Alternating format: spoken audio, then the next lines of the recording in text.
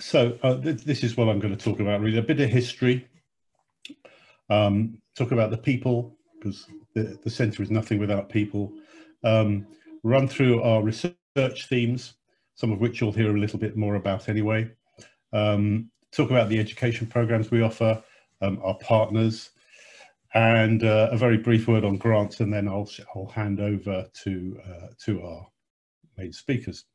Um, there's a for any anyone who hasn't been at Queen Mary for telling me what that picture on the right is.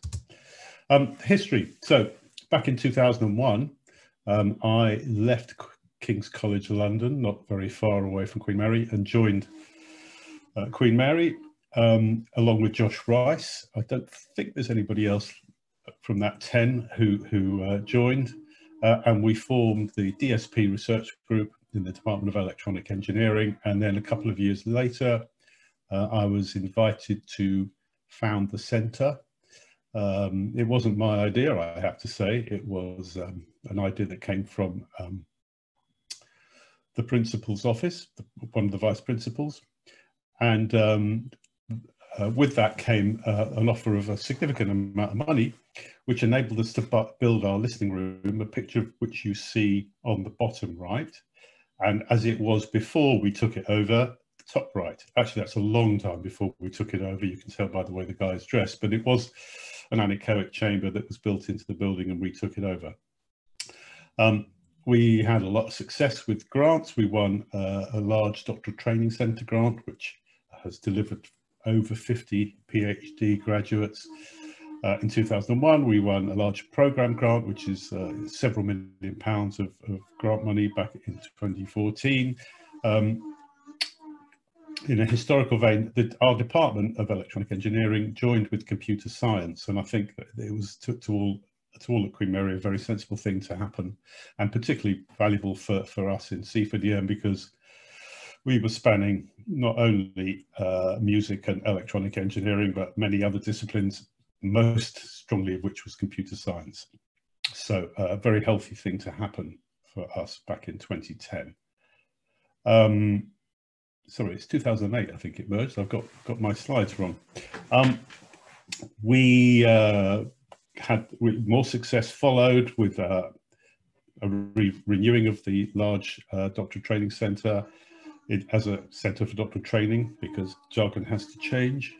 And then we got another large one, which is funding a load more students that many of you might be aware of uh, in AI and music. Uh, people, um, that's the most recent photo I could find. You'll see me at the middle, in the middle, uh, but most of the people in the picture aren't with us anymore. Um, and that's well that's just the way it is with uh, university research groups but we have quite a turnover of the academics which is healthy too so you'll see bob sturm sebastian sebastian Ewert there uh, elaine Chew all have uh, since left and some others but um, i'll move on. And people have left us to go to some really impressive places. Uh, we have currently around, and it's hard to know precisely, 70 permanent researchers.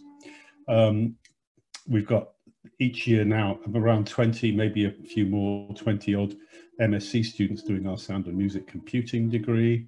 And uh, the sorts of places our researchers go are uh, some places in Singapore, very highly regarded research, two or three ex-researchers who've gone there. Uh, prominently Apple, Spotify, BBC, Universal Music, Tencent ByteDance, and many, many more um, all over the world, really. Um, our research themes um, fall under these headings really. Music informatics is probably the largest um, collection of particularly the academics um, and uh, it, it is, um, is where the AI and music CDT falls mainly, uh, but not entirely by any means. Um, we have augmented instruments. Uh, we don't think we have a talk from, from uh, in that theme today. Audio engineering, um, sonic interaction design, sound synthesis, machine listening, and uh, I've just learned, uh, new for 2021, um, I've given a choice of two titles there, but uh, Harris will tell you about that later. Uh, he's most likely to call that communication acoustics. Um, I'd invite you to look on our web pages to find out more about all of these uh, research areas, um, if they're of interest to you. And I also just point out that we have a music cognition lab, uh, which is joint with our cognitive science research group. And if anyone really finds that interesting, um, they have their webinar tomorrow. Um, it might be too late for you to register. Uh, I'm not sure, but it's worth finding out if you're really into it. Educationally, um, we have the highest concentration of centres for doctoral training in Queen Mary. Pretty much every single one in Queen Mary, bar one, uh, has something to do with the Centre for Digital Music. Um, we host, Nick Bryan-Kinns is the director, we host the CDT in Media and Arts Technology, 50% roughly of which uh, of the students are in are doing music related research. We have the CDT in AI and music. Uh, Simon Dixon is the director of that. We, uh, two of us, Nick, Bryan-Kinns and myself, are involved in the CDT and data-centric engineering, um, which is a new, uh, new enterprise. Uh, we have a mini CDT in data-informed, this is a mouthful, data-informed audio, audience-centric media engineering, so we call it DAME, uh, which is just a very small uh, CDT at the moment. And we also have PhD students who are funded by a variety of, of resources. Um, we have, I mentioned the MSc in Sound and Music Computing, and we have uh, modules available in other MSc programs, which means, for example, a student studying uh, our AI masters could basically do a specialism in, in audio and music. And on the right, you see the logos at the top for our uh, MAT CDT, then the A, uh, AI music one, and then the data-centric engineering uh, logo. Partners, uh, we're very, very proud of the number of partners we have, and, and hopefully, without knowing the names of the attendees, some of you are, are looking to become our future partners too. We have um, at least, in fact, several more than 20 partners in our CDT in, A, in AI and music. Uh, we have had uh, many, many uh, for the other CDT in media and arts technology. Um, and there are so many names. Um, it, it, was a fruitless exercise to try and list them all. So I've picked on a few big, big names. Apple, where two of our ex-PhD, no, maybe it's three of our ex-PhD students work. BBC, about four or five ex-PhD students work. One at Universal, one at Sonos, um, I won't go into it any further. And then our academic partners, I'm very glad I put UPF there if Frederick's on the call, um, both in the UK where we've uh, have typically have a, a, shared large research grant with these with these uh, partners. And um, across the world particularly strong in the uh, in North America where we've signed agreements with Georgia Tech and McGill. Uh, and we have shared research programs with uh, most of those others all students have recently gone there. And lastly, I think this is my last uh, information slide, our grants. I, I, we keep a list on the web. Um, thank you, Emmanuel Benetos, for keeping that up to date. The current portfolio is standing at 13 million pounds. Um, in some cases, uh, a C4DM academic isn't the PI, the pr principal investigator, but in most cases, these are led by C4DM academics. Uh, that includes three CDTs, one fellowship, funding from all the major funders. And we've also, not very long since, finished other major grants that I'm just mentioning below, which I'm not including in the in the 13 million.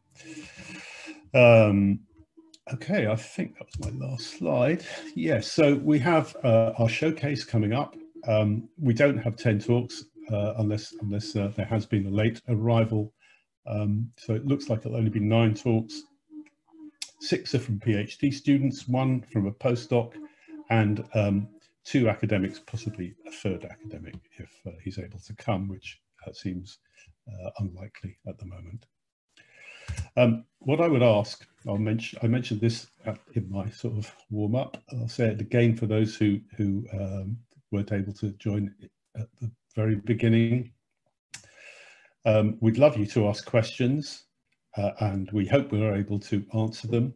Um, but please post these using the Q&A tab, not the chat tab.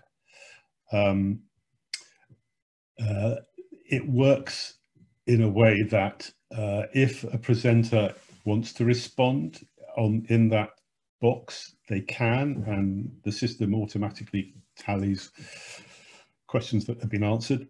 Or it might be that uh, the presenter or myself would, would rather answer at the end of all the presentations. We have plenty of time after the presentations to uh, have a discussion to ask, answer, certainly to answer questions. Um, and that should be the, uh, that should all work. And yes, lastly, please bear with us and particularly me because I've never run one of these before.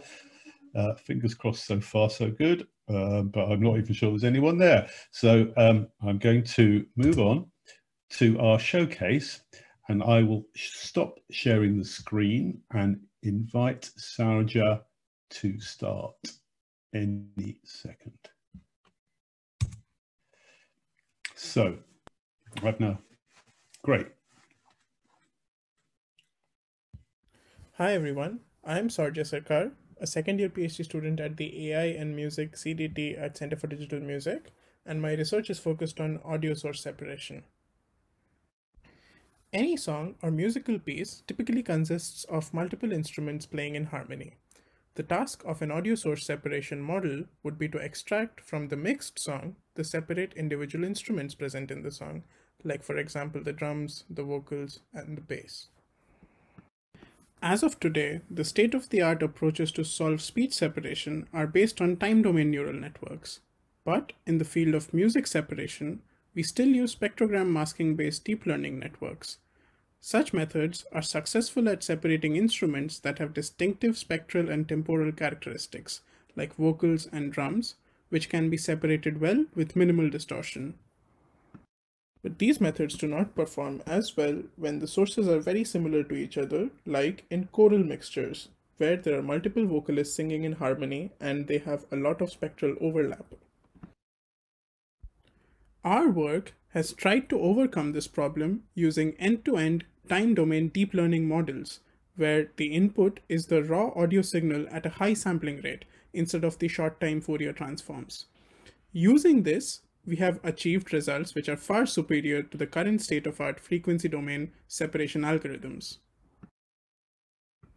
Here is an example use case for the model we trained. We'll first play the choir mixture which is presented as the input to the model.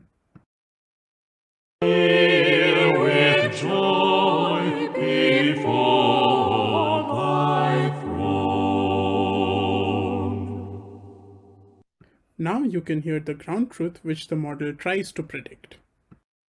Hear with joy before thy throne.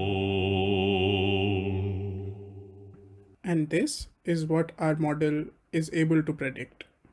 Hear with joy before thy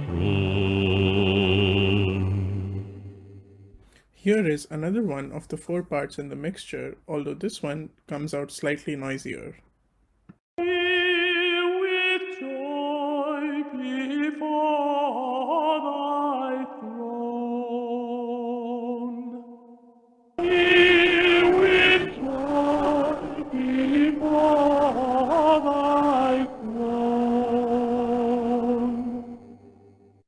As we can hear, the separation quality is actually quite good. But there are distinct artifacts that don't sound as good. Our current research is focused on improving the perceptual quality of our output.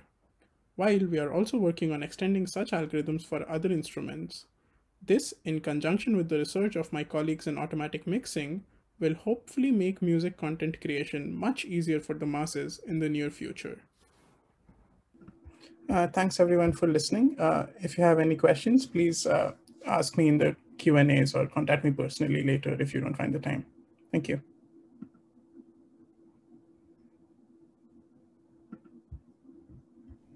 Okay, that's great. Uh, thank you very much, Sarah. Next uh, is, uh, is Veronica.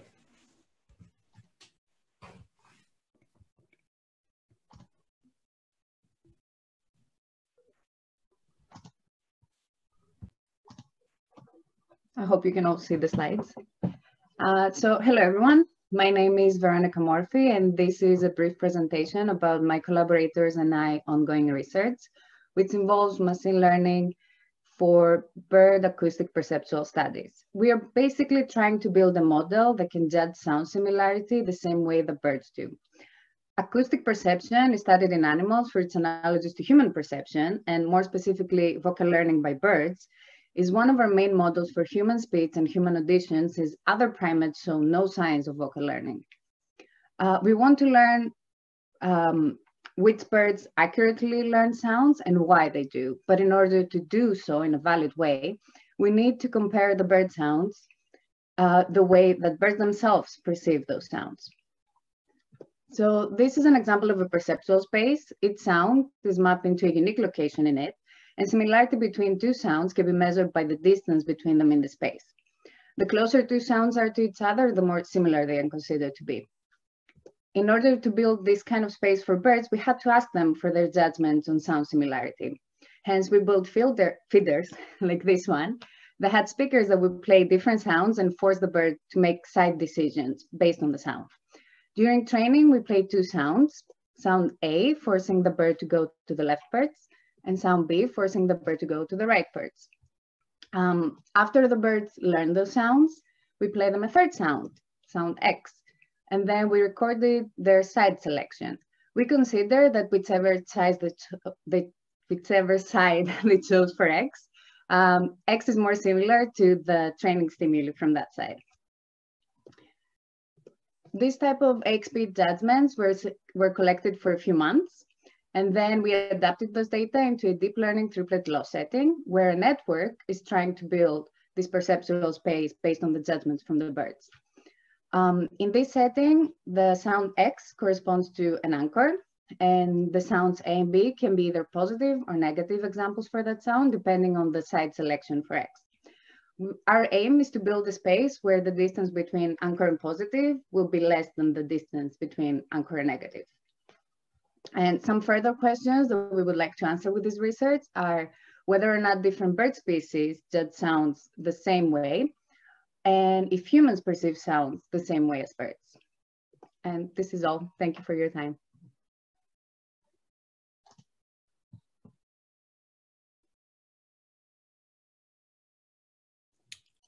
Great, thank you, Veronica. Uh, next, I'd like to invite Mathieu to uh, tell us about it, musical interfaces.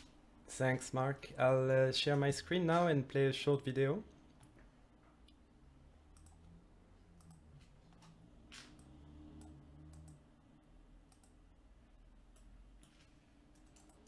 Hello, my name is Mathieu Barthet and I'm a senior lecturer in digital media.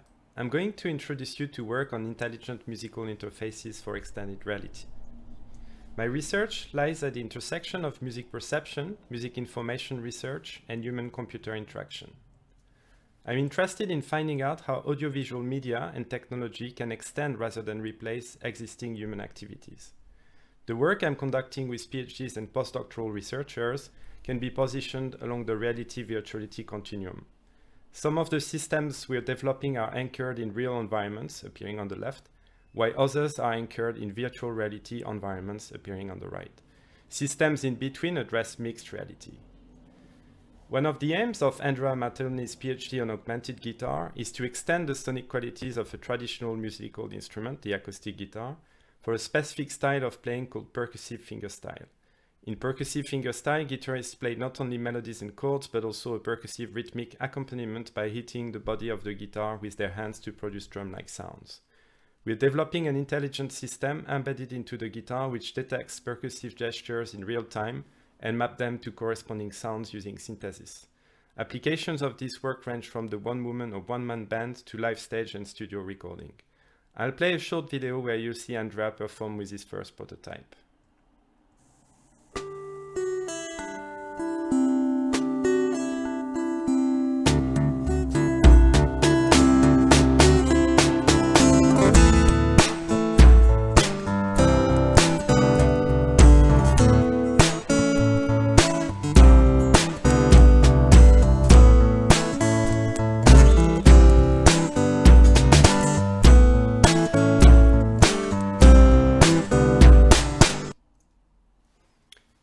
Following project, which I conducted with postdoctoral researcher Rod Selfridge and two industry partners, Fracture Reality and Sensing Feeling, we were interested in developing novel immersive experiences for audiences of live music using augmented and mixed reality. We combine IoT-based sensing of musical expression and emotion with computer-generated imagery to produce live music visualizations.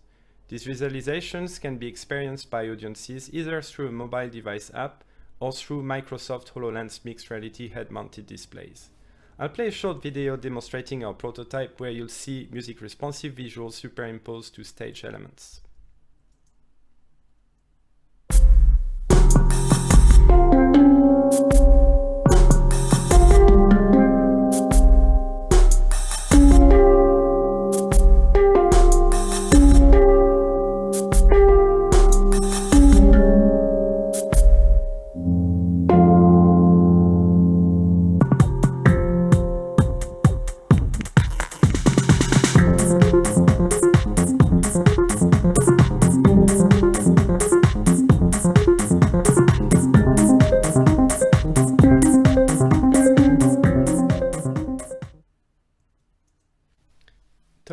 Thomas Deacon's PhD addresses the needs and communication patterns of musicians in the studio to inform the design of tools for music post-production in virtual reality. You can see at the bottom a screenshot of a system letting performers spatialize music tracks in 3D in a fully virtual environment. This work has applications for the production of immersive content for new media. Thank you for your attention.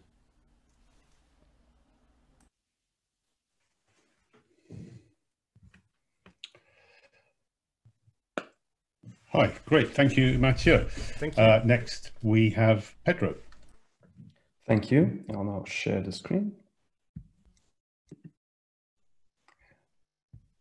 Hello, everyone. My name is Pedro, and I'm very glad to be here. Today, we'll be talking about Musical Smart City, AI and sonification to make sense of IoT data. This is my PhD topic and is supervised by Mathieu Barthet and done in collaboration with Holonic Systems. Smart cities can be described as urban areas with embedded sensor networks that collect data towards an efficient management of assets and resources. Interpreting smart city data might bring opportunities for citizens to increase awareness of their environment. However, there's clearly a deficit regarding the use of the audio modality for this purpose. This led us to think how can we use music to make sense of IoT data in the context of smart cities. For that, we can rely on sonification, the use of non-speech audio to convey information. Here we have an example, which is the Geiger-Müller counter, which is focused on this perspective of conveyance of information, and one that is focused more on the aesthetics, like the piece by Brazilian composer Heitor Villa-Lobos, where he maps heights of buildings in the New York City to notes on the piano. Our vision of a musical smart city can be described as a location-based system that is able to increase inhabitants' urban awareness within a city, while at the same time accounting for an exploration of their environment in a musical way. And we propose to uh, reach this vision by dividing the space into two major areas, environment and user. The first one will focus on smart city data such as air pollution, crime rate, or weather, and the second one on user-related data gathered from smart devices, data such as head movement, gaze direction, location, heart rate. Here, AI and machine learning techniques can be used to either achieve dimensionality reduction on datasets or to guide music generation would like to present an environment-driven sonification prototype where air pollution values gathered at a station in Mile End Road, London, from a week in 2019 and a correspondent week during lockdown in 2020 are mapped to a spectral delay effect that is applied over a piece called Air on the G string by Bach. Here, we can notice an increase in tension when the pollution date is higher in 2019 compared to the first lockdown period in 2020 due to the activations of spectral delay triggered by the IoT data.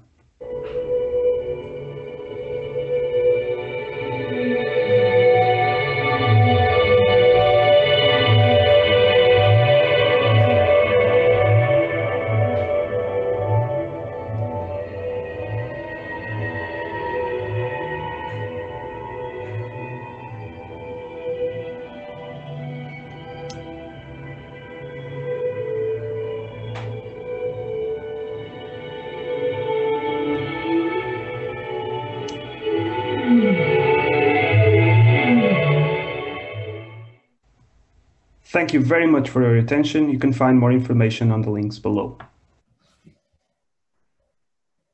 Thank you.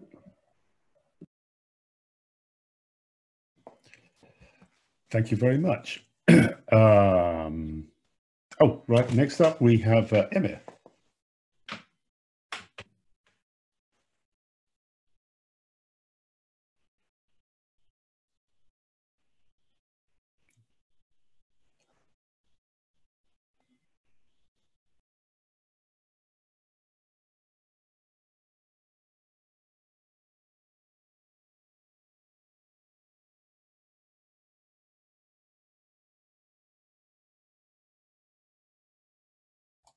Yeah. Can you see my screen? Cool. All right. So um, the science of automatic speech recognition have advanced greatly in the last few decades uh, that have become impactful in our daily lives. Technologies including Apple Siri, Amazon's Alexa, um, Google's automatic translation engine, uh, YouTube's automatic captioning tools they all uh, essentially rely on a powerful speech recognition engine. Um, so what do speech recognizers do? Broadly speaking, um, they translate speech signals into a form of written text. Using such a system, it is possible to retrieve the lyrics of songs from singing performances. This procedure is generally refer referred as automatic lyrics transcription in the literature, which is the direction I've taken in my PhD research. To summarize, a lyrics transcriber recognizes the words from sung utterances through modeling the acoustic, linguistic, and the phonetic characteristics of singing voice. We have taken a data-driven approach and utilize advanced artificial intelligence techniques, referred as deep neural networks, for building the lyrics transcriber. Um, without going into much detail, I'd like to uh, show a few examples to demonstrate what our system, what a lyrics transcriber actually does. So I'm gonna be showing a video, but before that, I'll just have to make sure that uh, the sound quality is all right.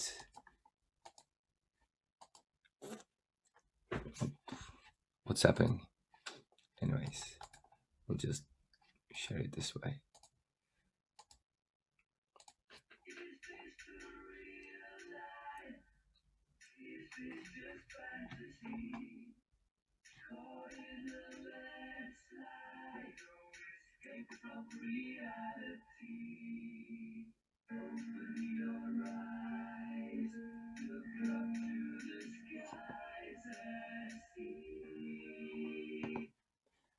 Yep. And in the next one, I'll show an example where there is uh, musical instruments in the background, a polyphonic music example.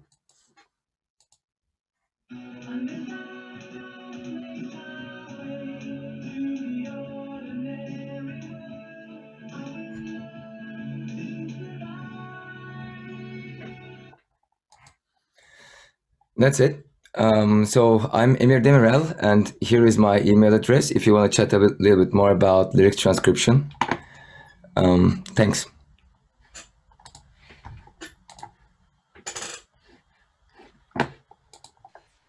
Great. Thank you, Emir. Uh, so next up, we have uh, Eleanor. Wait, okay, just a second.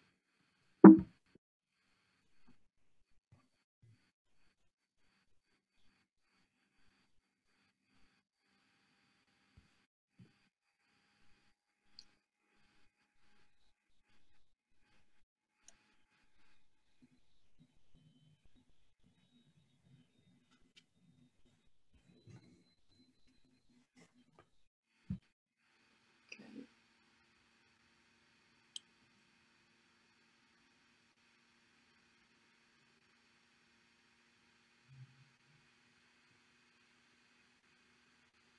Okay, for on the like uh just a second. You.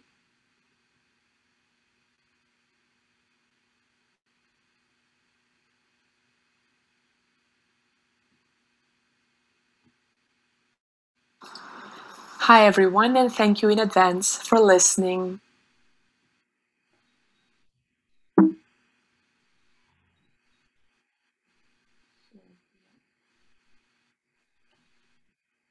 You move on to the next presentation? I'll do it after that. I'm having some trouble. That's fine. Yeah, don't worry. Uh, Gary, are you ready? I'm happy to do that, Mark. Thank you. Lovely. Thank you. Thank you.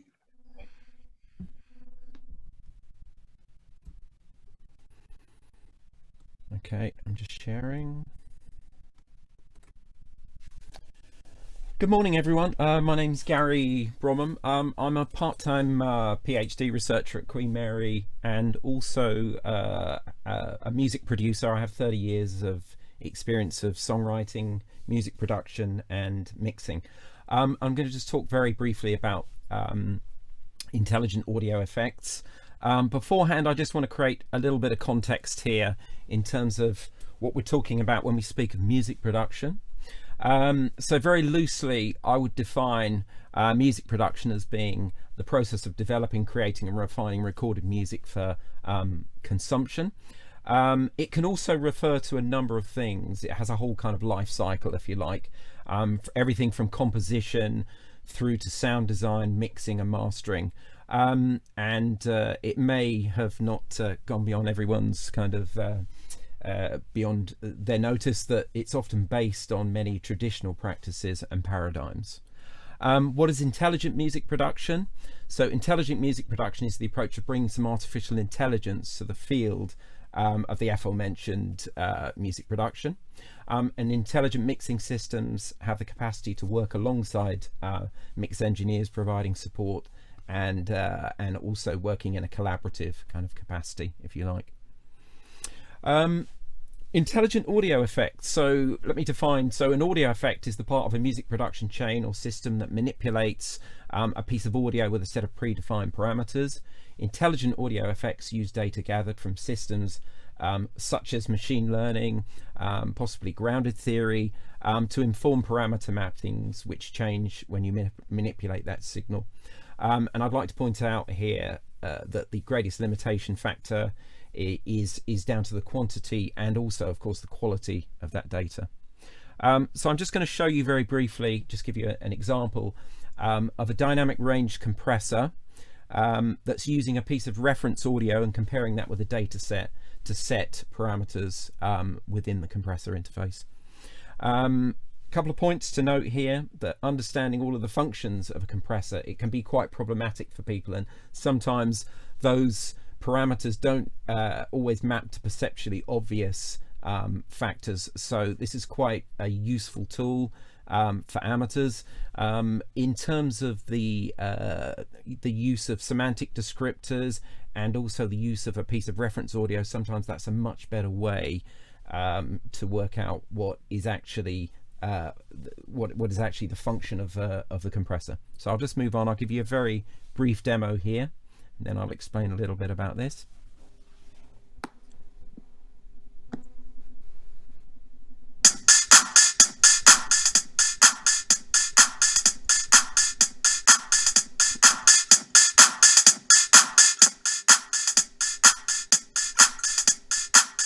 That's probably all we need to see. Um, so here's a very brief um, flow diagram so you can see the live audio being fed in we then, um, you could see me dragging a piece of reference audio into the compressor, um, which is so a similarity with um, the data set. So it's compared and the resultant uh, parameters are mapped to uh, the compressor interface. Um, I want to make a couple of other points um, about the context of intelligent music systems because I think this is something which certainly resonates with me as a music producer. Um, the the idea uh, of IMS or intelligent music systems being effective, they need to be adaptive and they need to take context into account. We often find when we gather the data that the outliers or the or the exceptions are where the interesting part happens, and often people say, uh, actually, that's where maybe the creativity and the spontaneity um, uh, is is most obvious. Um, why do we care about this? Why do we care about this kind of technology? Why is it interesting? Um, as an amateur music maker, you can often find uh, the it's quite daunting trying to navigate your way around um, uh, parameters within audio interfaces and something that kind of uses tacit knowledge taken from expert users um, and mapping those onto parameters can be an easier way uh, to achieve a, a, professional or a better end result. Um, professional mix engineers can also benefit from this because, of course, it can assist their workflow and streamline it and make uh, their, their their whole kind of process much easier. Um, final point I just want to make here is in terms of co-creative music system, it can also um, human and computer interacting with each other can also create a more varied set of um, uh, parameters sometimes where you it, which may lead to more uh, creative possibilities with audio. Thank you. Thank you, Gary, uh, especially for stepping up a couple of minutes earlier than you were you were prepared for. Um, Eleanor, are you okay now? Do you think, or sure?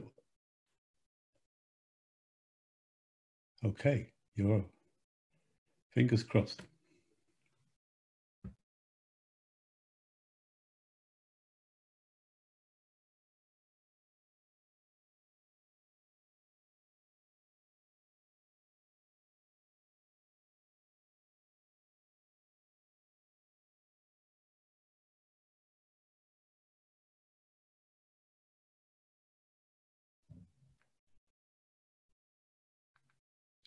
You're on mute, by the way, Eleanor.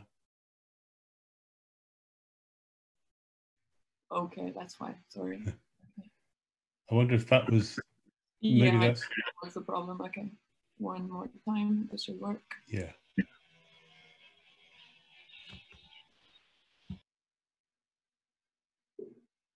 Hi, everyone, and thank you in advance for listening and your interest in our topic. My name is Elona Shatri, and I work with George Fazekas in optical music recognition, or OMR. We also have a very close collaboration with our industry partner, Steinberg. Optical music recognition concerns itself with computationally reading and retrieving musical information from documents. Said in simpler words, it tries to retrieve the actual music notation and semantics from sheet music, generating, in the end, a machine readable file. In order for musicians to use images of sheet music to further develop their music by editing, creating demos, adding missing voices, choosing engraving styles, and just using the substantial amount of existing music tools and software, we need OMR. OMR also uh, is helpful in computational analysis and searchability of music. Also helps digital musicology by enabling studies across different tradition, genre, culture, time periods, and composers. Furthermore, it would allow conversions to differentiate music formats, for instance, Braille music notation, and the ability to archive musical heritage. The traditional OMR pipeline starts with some simple uh, computer vision tasks such as binarization. It moves on to object detection where deep learning has come into place, which does not stand true for the next stage, that of musical notes uh, reconstruction, where music semantics come into place. As of today, most of the work focuses on musical rules and heuristics, and some work was also done with machine learning, but is limited to monophonic very simple scores.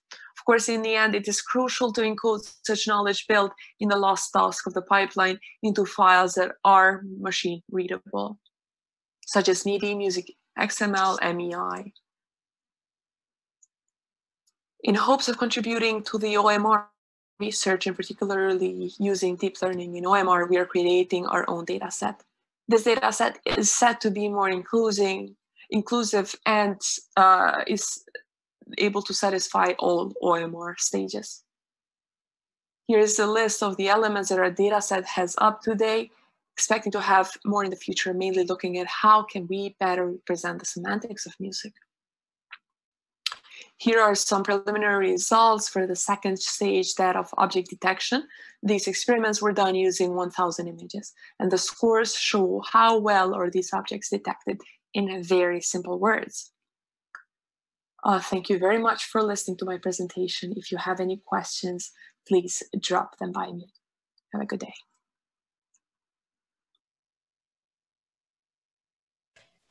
Thank you. Thank you. Uh, right. Uh, next is uh, Angeliki. Yes, hopefully you can hear me and see me, and hopefully I can share my screen as well. Um,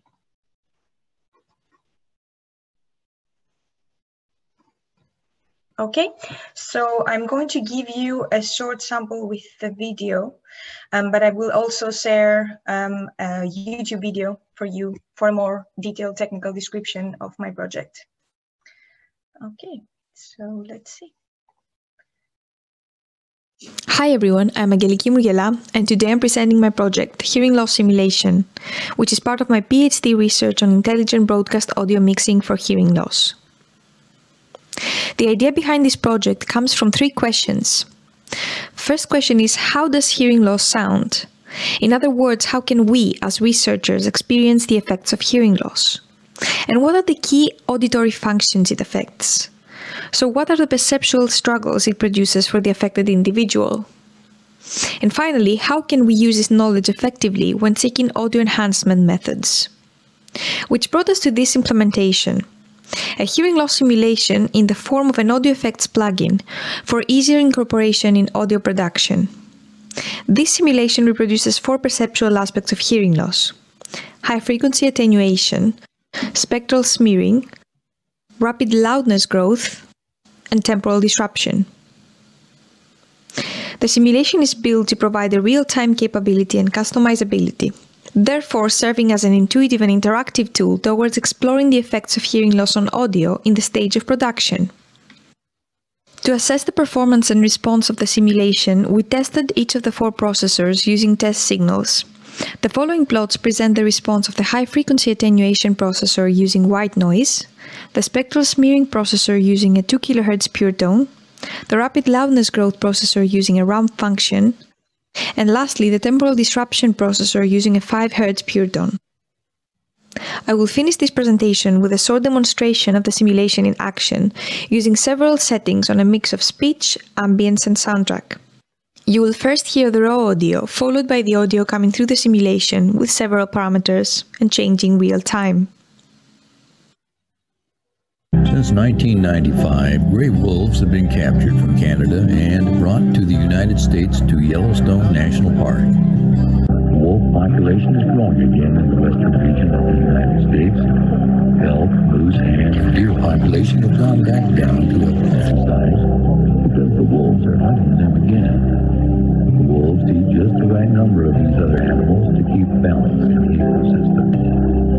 The trees are growing again. Birds, squirrels, mice, and other mammals are coming back because they now have the trees they need. Beavers have returned and are building. Thank you for your attention.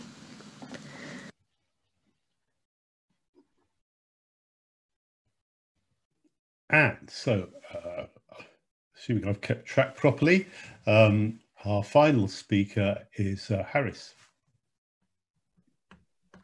Thank you, Mark. Hope um, everybody can see my screen.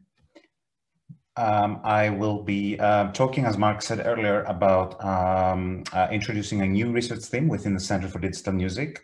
Um, tentatively, I've gone for communication acoustics, but um, I'm happy to consider other ideas. Um, this is a work in progress. Um, uh, so uh, communication acoustics refers to um, the study of acoustics that are relevant for the communication between humans and uh, between humans and machines. Um, we will approach that focusing on perception, cognition, and aesthetics of sound, uh, cross-modal and multisensory perception involving sound, using that knowledge to enable digital music research with an understanding of how we hear, and uh, modeling human values and biases with digital music data. Um, uh, this research um, crosses several C4DM themes already, including audio engineering, augmented instruments, machine listening, and sound synthesis. Um, speaking of sound synthesis, uh, one of the current topics um, that uh, PhD students Ben Hayes and Cyrus Vahidi are looking at um, is understanding the perception and semantic description of uh, synthesizer sounds. Uh, so moving away from uh, musical instruments um, uh, to inform neural audio synthesis uh, systems. Um, we collaborate with um, uh, George Fazekas at the Center for Digital Music and Martin Benning at the School of Mathematical Sciences. And we have the special interest group um, that um, Ben and Cyrus are running. The second um, uh, main topic at the moment is uh, using digital music data as an observatory of human values and biases. And uh, this is in collaboration with uh, several people within Queen Mary, um, with the ISI Foundation in Italy and the BBC Data Science Research Partnership. Um, Luca uh, just started his PhD and he will be looking at uncovering gender encoding uh, strategies in sound and music. Um, and Vjosa will join us in January um, as part of a new center for this, uh, sorry, a new um, uh, center for doctoral training, um, where we will look at predicting demographics, personality traits, and human values from uh, streaming um, data, streaming information uh, in music and other media. Um, I hope you can see the video. Um, we had um, a master student um, last year who developed um, a Timbre Explorer interface um, where uh, people can explore different salient um, dimensions of timbre and how they how these are heard. And this is uh, part of a more general effort to develop physical and web tools for education, outreach, and research. Um, and um, in sort of a similar um, approach to developing tools for the for the research community and the broader community um, in collaboration with uh, the ACTOR partnership um, based at McGill University in Canada. Um, me and some colleagues there are currently developing an orchestral timbre semantics um, database that can be used for psychology and music information retrieval research. Um, so closing that uh, very short introduction, um, these are some of the topics that I'm looking into with colleagues uh, in the UK um, and abroad. Um, uh, timbral brightness perception and the neural underpinnings, um, understanding uh, variation in sensory experience, um, and uh, the how timbre is perceived in a more binaural uh, context. Um, and um, we, I think somebody also asked about that in, in the questions, um, as I saw a bit earlier. Um, uh, so uh, we have a PhD funding opportunity coming up for um, autumn 2021 entry, um, learning timbre-specific word embedding for semantic audio applications. This is uh, together with George Fazekas, um, so we are looking for students, uh, candidates who would be interested, and we're also seeking um, uh, industry partners uh, who might be interested in this uh, topic and uh, could either support the studentship or provide in-kind contribution. Um, that's it from me. Thank you very much. I'll be happy to answer any questions um, uh, later.